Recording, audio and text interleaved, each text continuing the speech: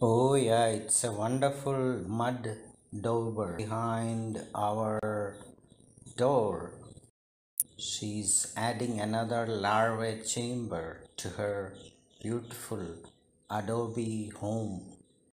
She brings clay walls and daubers layer by layer to make the nest like a 3D printer.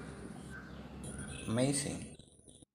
As she is known for, she is bringing in a caught spider into its nest as its larva fodder.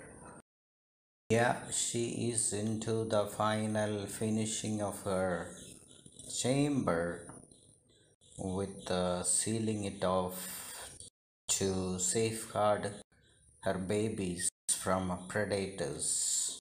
Yeah, that is the finished work. Everything tightly sealed off like the Great Pyramids.